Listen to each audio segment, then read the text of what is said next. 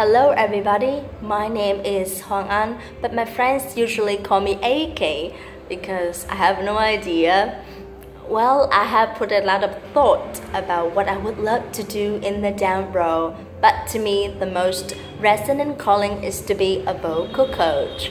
It sounds crazy and ambitious, I know, because this job is not prevalent in my hometown, but I'm pretty sure that a professional vocal trainer stands a good chance. How can I describe this job?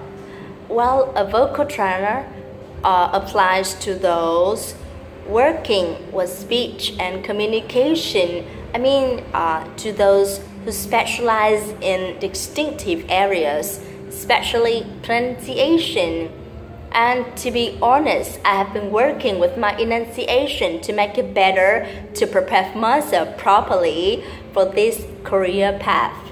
At the moment, teaching English grammar for middle or high school students admittedly could get a lucrative income. However, there is an increasing number of people paying attention to how accurately they pronounce or utter a word because that assists them to speak with confidence. So I speculate that in the foreseeable future, this job will give me a better or bright future.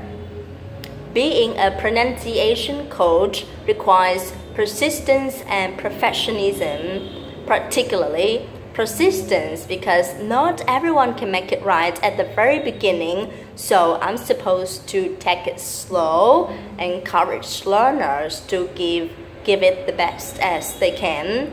You know, practice does take time. What is more, when it comes to learning, uh, it is vital to endeavor to be better and better. The more we try, the more we will be better Lucky me, the two qualities I have mentioned is my strong suit actually.